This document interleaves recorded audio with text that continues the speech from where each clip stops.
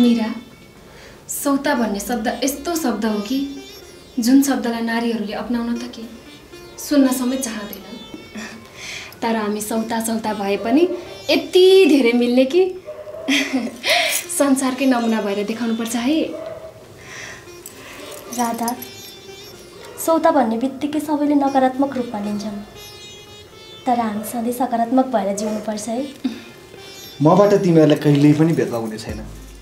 मेरो लागि सधैँ तिमीहरू दुईजना बराबर हुनेछ। र मलाई आशा छ हाम्रो परिवार संसारकै सुखी परिवार बन्नेछ।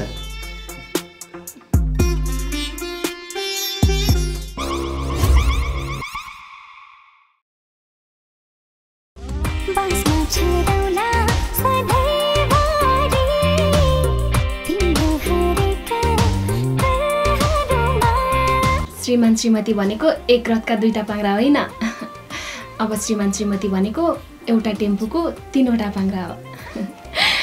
हामी दुईटी पछाडिको पाङ्रा हजुर अगाडिको पाङ्रा।